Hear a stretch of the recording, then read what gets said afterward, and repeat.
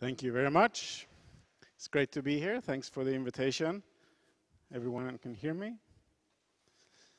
Excellent. Um, so, in this talk, I want to tell you a little bit about how, um, well, we heard quite a lot about the geometric Langlands program uh, so far in this conference, um, and possible connections to gauge theory and string theory. Here I want to tell you about um, what's sometimes called, uh, well, the classical Langlands program or the number theoretic Langlands program, or at least uh, some elements thereof and how they uh, play a role in string theory. Uh, so we start with some basic motivation, um, tell you something about how you should think about modular forms or automorphic forms uh, from a more representation theoretic viewpoint. Uh, and then in the third part, I will um, focus on some specific uh, BPS couplings in string theory where this um, this is important. Uh, so this this is based on uh, work over a number of years, in particular work with um, Axel Kleinschmidt, Philip Fleig, and Gustafsson. So the reference at the top there is, is a book we've been working on for about five years, and it's supposed to be uh, finished very soon. And we, during this work, we kind of, well, many conjectures came up. As Alexei said, was it this morning, that it's easy, it doesn't cost anything to make conjectures, but it's hard to prove them. Uh, so that's what we are doing at the moment. So there is a paper coming out on Friday where we prove some of these conjectures, and then there's uh, upcoming work eventually where we prove more of them. Um, so what we want to do, we want to understand uh, string theory or some uh, interactions in string theory, and what we will focus on here is that these are usually very constrained by symmetries, in particular on this talk um, we have supersymmetry and U-duality. So these uh, combined say that these amplitudes will have some intricate arithmetic structure. Um, G of Z here is supposed to indicate some discrete Lie group.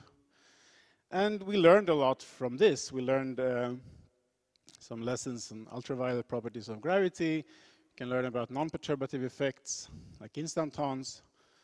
And maybe the main part uh, important for this talk is that we can also make interesting predictions uh, for, for mathematics. So to be a little more precise, this is all so far in the context of toroidal compactifications. You can consider more general compactifications, but I'm not going to do that in this talk. So then we have this famous chain of duality groups culminating with E8 in three dimensions.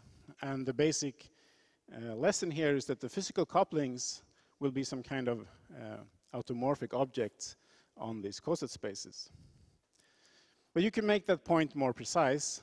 Uh, so let's look at some specific case of higher derivative corrections in type 2 string theory. So we know that um, the first non-trivial correction is uh, contraction of four Riemann tensors.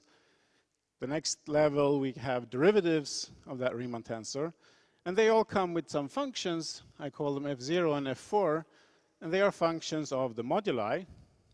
And we want to determine um, what these functions are.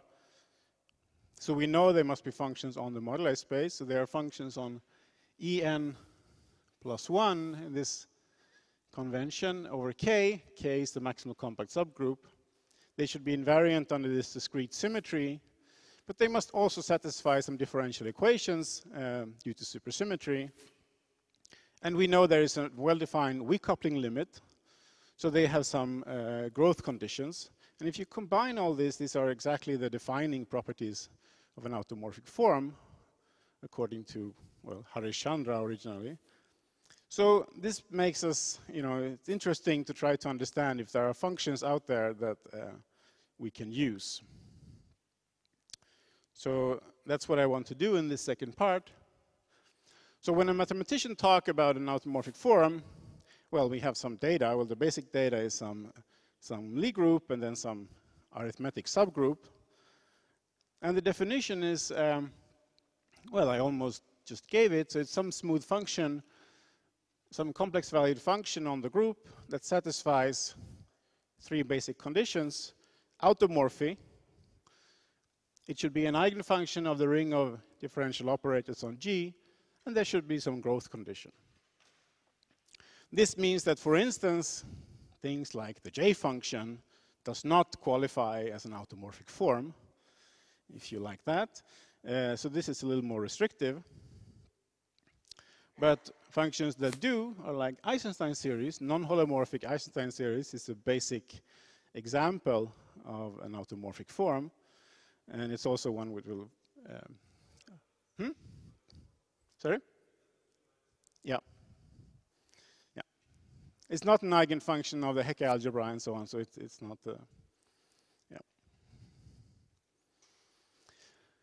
But what, what happens if you try to go away now from this so we saw an Eisenstein series. You can think of it as a function on the upper half plane. But this is specific for SL2. So if we go to some higher rank groups, we want to replace this notion with something that uh, works in all cases. And then the representation theory uh, is helpful. So let me introduce some objects, big objects. Space of automorphic forms on a group G, some infinite dimensional function space, I mean, you can, if you want, you can restrict to, say, square integrable functions. It's part of that. Sometimes people do that. Um, what's important is that this group carries an action of G. So you can just act with the so-called right regular representation. It's just translating the argument on the right. And then this is still an automorphic form. And that's the definition of an automorphic representation is if you take this space and you think about decomposing it with respect to this action, and you take the irreducible constituents, those are automorphic representations. And this is a huge uh, program to, to do this, and because this is a non-compact quotient, you actually have contributions which are both discrete and continuous. The discrete spectrum is generated by so-called cusp forms. Um, they are uh, functions that have zero constant term. So this term here is an integral over so-called unipotent subgroups, and this must vanish. And the continuous part is actually generated by Eisenstein series. And those are the ones that are most relevant for this talk. So let me take an example. Uh, by now an old and famous example. The R4 term in 10 dimensions this has a, a, function f0 of tau. Tau lives in the upper half plane. And you have uh, an expansion where the first two terms here are the perturbative and one loop contributions. The parameter y is the inverse of the string coupling. And then you have an infinite series of instanton corrections. So they are exponentially suppressed in the weak coupling limit, and they are quite hard to calculate explicitly. But as it turns out, you can sum up this entire series into one function, and it's precisely an Eisenstein series of the type I showed you before, with a specific value of the parameter. So in this uh, context, the, the term in, in above here is the, in the exponential is the instanton action, and the prefactor here, sigma, is, is a combinatorial divisor sum that we call the instanton measure. So this was a very successful um, result. Gives you a non-renormalization theorem that there are no higher perturbative contributions. They are prevented from SL2Z invariance and supersymmetry. But what if we now go to lower dimensions with higher and higher rank symmetry groups, can we repeat this uh, successful story? And um, so as I emphasized, the key thing here is that we have instanton effects appear as Fourier coefficients.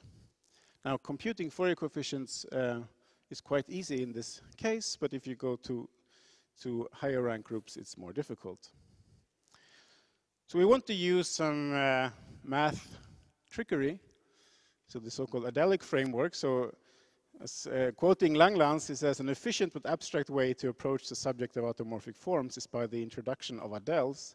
So they are ungainly objects that nevertheless once familiar spare much unnecessary thought and many useless calculations. And so we kind of took this at face value, and, and, and now I think I agree. Um, so just to give you sort of the pictures, we are interested in some kind of Fourier coefficients of Eisenstein series. And um, this so-called adelic framework allows us to consider more general objects, adelic Eisenstein series, where we can compute Fourier coefficients with uh, additional techniques that are not available in the, uh, down here. And we can restrict. And then we can extract the objects we're interested in. So let me just give you some indication of, of why this works. So if you never heard of the Adeles, maybe some of you have, it's, this, this comes about if you're looking for completions of some number fields. So let's look at Q here. You can take completions with respect to the order and Euclidean norm, and that brings you to the real numbers. But you can take completions with respect to another norm, p-adic norm, and that gives you the p-adic numbers. So by convention here, Q infinity, this is sort of the prime at infinity corresponds to the real numbers. So why is this interesting? Well, if you then take this R and QP for all primes P, and you cook up sort of a global object, the Adeles A, by taking the product over all this QP, well, then an Adele X is just sort of a collection of, of these um, different numbers corresponding to the real place at infinity or some of the p-adic numbers. Now, the Q here embeds very nicely into A, and this is a discrete embedding. And here's one of the main points, that it's easier to work with Q than Z. So the embedding of Q into A is like the embedding of Z into R, but Q is a field and Z is a ring. So this makes things uh, nicer. And actually the first to realize why this, this uh, sort of um, structure is very helpful was Tate. In his thesis, he developed Fourier analysis over the Adeles. And one very nice example is to look at the Riemann zeta function, or the completed one, which has a functional equation, xi goes to 1 minus xi. And this is kind of tricky to prove if you just um, uh, take the Riemann zeta function at face value. But what you can do is you can consider the Euler product of the Riemann zeta function, like this, and then the prefactor involved in the gamma, you can actually attribute to the prime at infinity. And then you can write the whole thing as a very nice integral over the Adeles. And so Tate did this and we're able to show functional equation and analytic continuation of xi in a much uh, simpler way. so what we are going to do is we're taking this group G, we're considering it as um, G of Z will be G of Q inside the adelic group, the space of automorphic forms is enlarged. And what we want to look at are Eisenstein series in this context. So I haven't really told you what I mean by an Eisenstein series on a higher rank group. So here it is. I'm taking uh, a sum over orbits of the group G of Z. And this H here is sometimes called a logarithm map. It's a map from the group G to the Cartan subalgebra. And it depends on a choice of weight, lambda. This is a weight of the Lie algebra, or a complexified weight.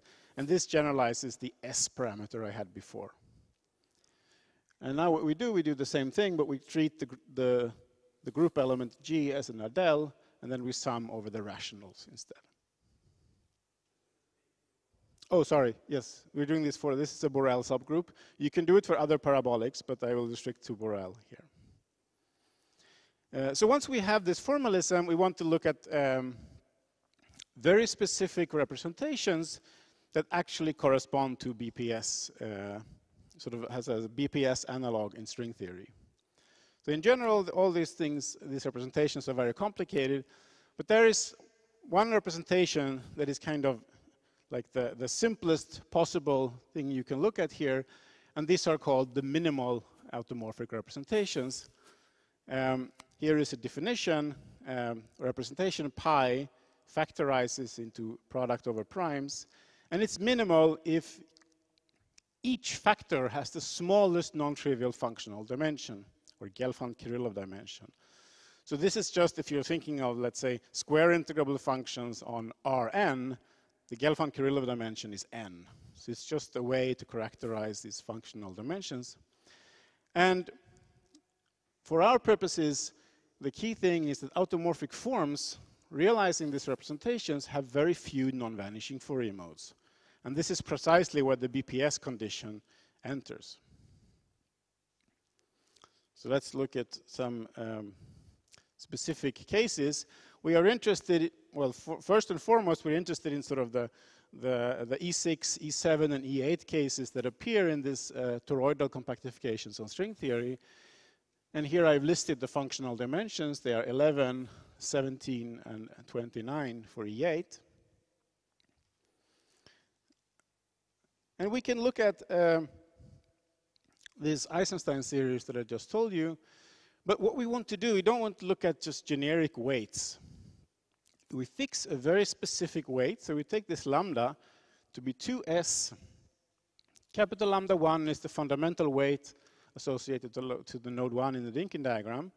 And s here is a complex number.